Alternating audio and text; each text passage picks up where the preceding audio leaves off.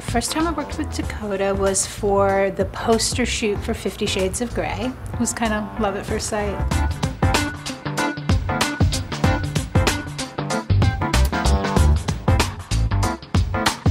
Ah, There's been a lot of favorites. We were in Venice together, and she wore a pale pink Prada dress with a kind of a bright cherry raspberry lip. That was a favorite. And then in Toronto, she wore a beautiful Alexander McQueen. Then I did kind of an ode to 70s look where it was a like an orange on the eye and a paler lip for her. Usually, like we bring her lips up and out.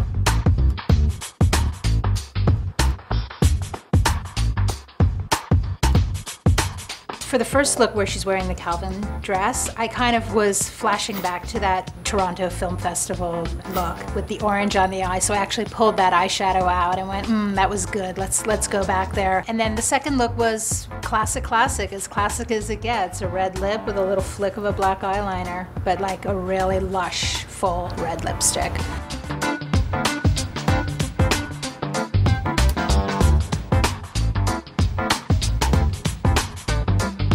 I love health and vitality, so like skin to look healthy, and so mimicking healthy skin is like really my goal. So I'll spend the majority of the time that I'm doing makeup on making sure that the skin looks healthy, glowing, perfected, but not at all like there's no detectable trace of foundation. I'm against the extremes. I'm against the extremes of the brows, the things that are really um, off-putting in real life.